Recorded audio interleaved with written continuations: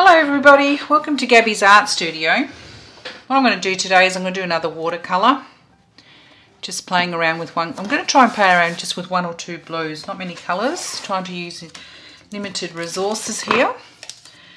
Um, and so at the moment I'm just taping down some BFK um, watercolour paper or printing paper. It's quite thick. It's made of recycled rags and um, a lot of professional artists and printmakers use it as well. So I'm just going to give this a go and see what happens um, with the actual watercolour. So it's just working from my imagination. I've come back from a six months travelling around Europe and I've got lots of fantastic images um, that I work with, either from my imagine from from what I can remember or from my photographs. So I saw some beautiful things while travelling. So some of the actual brushes I intend to use is this um, West Art Series Hake number one. You can get them in different sizes. Um, this is an old brush, but East Art Artist, Artist. I use this with my students, and that's about a number 10. And um, Art Spectrum, and these ones are probably the my favourite brushes. These are the um, Art Spectrum Squirrel Mop brushes from Germany. They're just gorgeous you can see the difference here where you know it's quite a wide bristle here but it goes into such a fine tip so you can do a lot with it you can work with um, you know big areas and then come into a really fine line if you need to and this one here is more for um, applying just big areas just, you won't get the tip you'll get a little bit of a tip but not much so if you're looking at for details when you don't have brushes like this you need to buy lots of little brushes, but these are great, you don't need that many of them. Okay, so what I'm going to do is I've got some just clear water. Normally I just work with, um, you know, like clear water and then have two containers of water. One where I brush, wash my brush out if I'm using another colour and one where I do a water wash. So, um, so I'm going to wash the background out. And I've um, also used Spectrum watercolours there's a number of different ones that you can use. These ones here, AS, and this is Phthalo Blue and um, a Spectrum Blue. It's almost like a cobalt blue. These two blues I will use um, to see how I go to start with. You can also get them in different brands, just depends on what you have and what you prefer. Okay, so first I'm just going to wash the sky in and see what happens here. Okay, I'm not going to go right down. I might just Oops, what you don't want is that to happen. I've got it on a bit of a tilt. I actually want the, when I, I'm going to try and apply the paint quite loosely and I want it to sort of flow down really easily because I find that when I dry, when I paint flat, it doesn't flow down as much as I want it to. So we'll wait and see what happens. I've got tiny little, using a little chocolate container here as recycling and uh, little pallets rather than going and buying one. Okay, so I've got quite a lovely blue. Now if you just want to test the colour out, you can just get an old piece of paper. This will do on the side. You pop that on the side and just, you know, that's quite a nice blue. Another blue there as well. It's a bit darker. So again, you don't need a lot of colour at all. So I'm just going to make sure that that is still quite wet. I can see it's already started to dry, like so. And because I'm, as my I say to my students, I'm fluffing around. Okay, so let's go. Let's see what happens. Okay, so I might use something bigger than the squirrel brush and just apply it to the background and allow it to do its thing. So I just can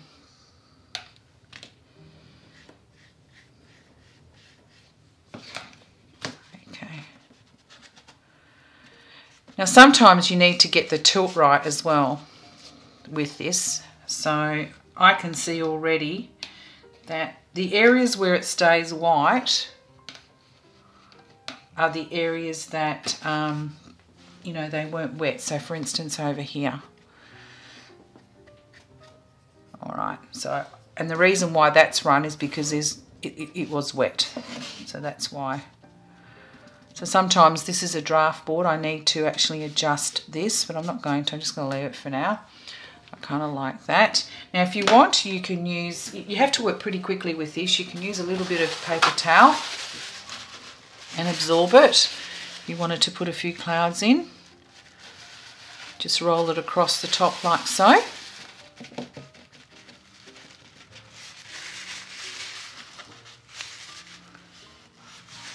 Okay, might just, because it's pooling, I might just absorb some of that.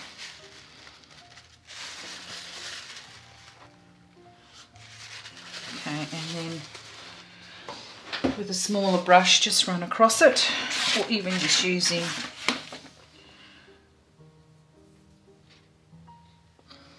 just run across it like so. So if you don't want any what they call cauliflowers, you can do that to it. Okay, so I had a little bit of a darker blue on the end of my brush up there. And as it starts to dry, you don't want to fiddle with it. I always say, don't fiddle, don't fiddle, don't fiddle. And one of my dearest watercolour friends taught me that. Don't fiddle, don't fiddle, don't fiddle. Um, and I'm sure she got it from somebody else as well. Okay, so unlike the other papers, um, this absorbs the paper, the inks really, really quickly and you need to work really, really fast. So I would dry that off now. Um, and then I'll, I've only done half. So this half over here is quite dry.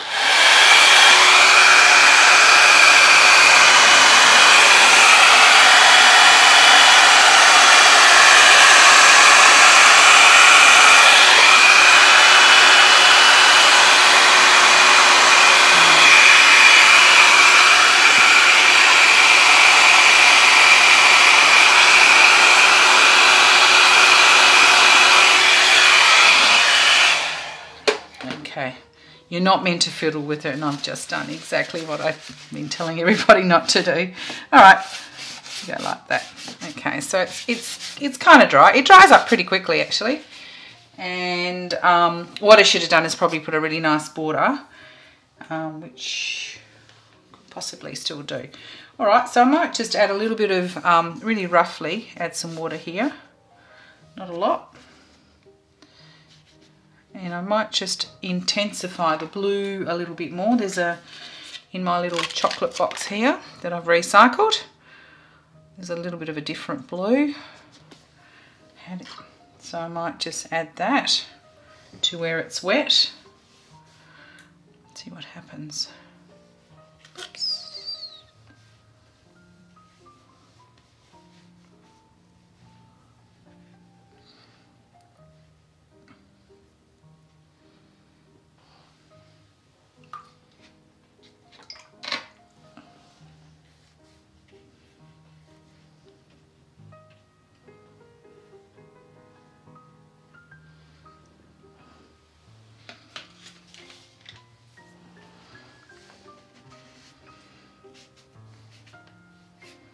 And drag it across if you want. Leave it a little bit white.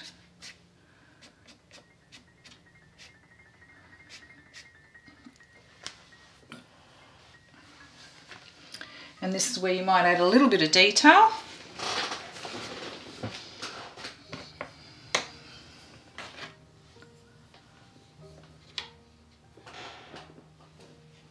Um, you can either add Payne's Grey or um, a little bit of black.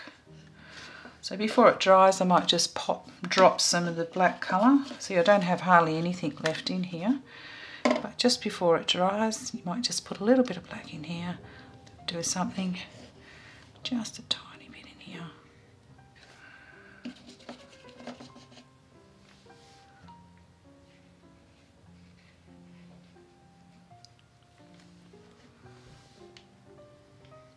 on the edges.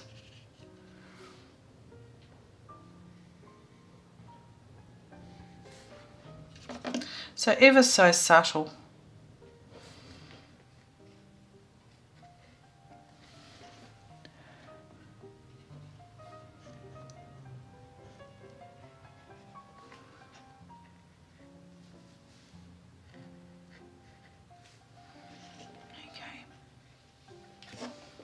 Right.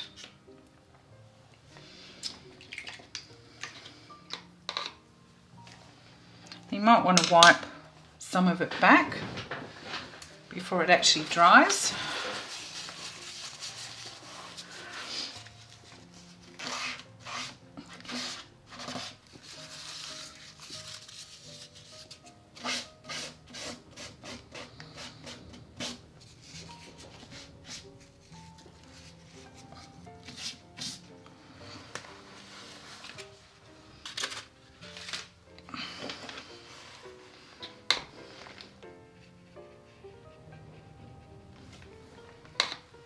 We go. See what happens there. I'm starting to fiddle too much with it. I probably should have left it white a little bit up here just to show a little bit more of a horizon line. Okay, but you can just, um, you know, if you want to, just sweep some colour across it so it's not too white, if that's the case. Because it does lift some of the pigment up.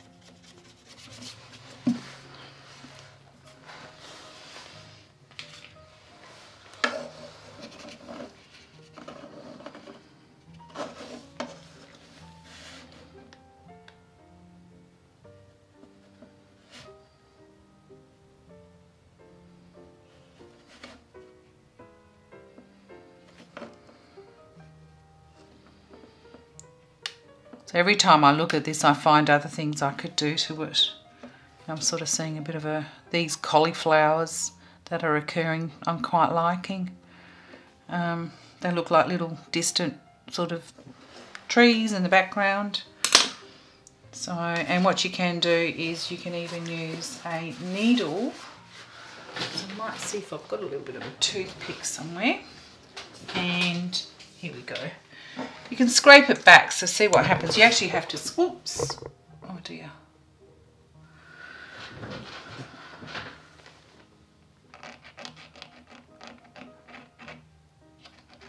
So you can scrape some of the paper off, like so, if you want to. Sometimes some of the artists use an actual blade and they'll just draw a line across it as well. Um, su suggested it's probably done better if it's dry. Um, and maybe by, by what we call scoring the paper, you're going to create a bit of a horizon line in there. But I think I've achieved that without using the white by just adding a little bit of Payne's grey in here. Even in here you might want to put a you know, a bit more white. You can put a little bit of white paint if you wish. I just wanted to show you what you can actually do by scratching it out. And you get a bit of a textured effect there too. I don't. So I'm just going to peel some of the paper back. See what happens. Yeah, it gives you a bit of a, a texture. Oops, peeled a little bit too much there. So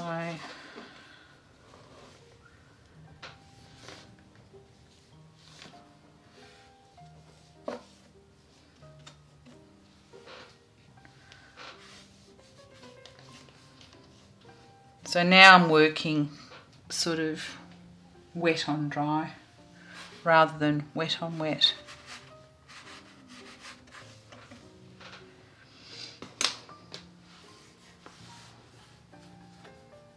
That's about it really. Don't think I want to do too much to it so I can just um, maybe lift a bit of the sky a bit more. So if I want to lift a bit of the paint you can actually buy stuff that bleaches back into the paper if you want. But I'm just going to lift it and then um, I don't want cauliflowers. So once you lift it you wet it you've got to wet it again. So with this sort of thing it takes a lot of practice in that you have to work pretty fast um, to get, you know, the right amount of light and dark in the in the actual watercolor painting. But sometimes, you know, you, you have ideas and, and they don't work out exactly. It doesn't really matter because that's the beauty about these sorts of little paintings. They're original. They're totally original because you can never really replicate the mark making at all. Um, and that's a great thing. So all of them become very, very different. Um, so, yeah, so even like, you know, um, even using the end of the brush. Give us a like if you liked the video.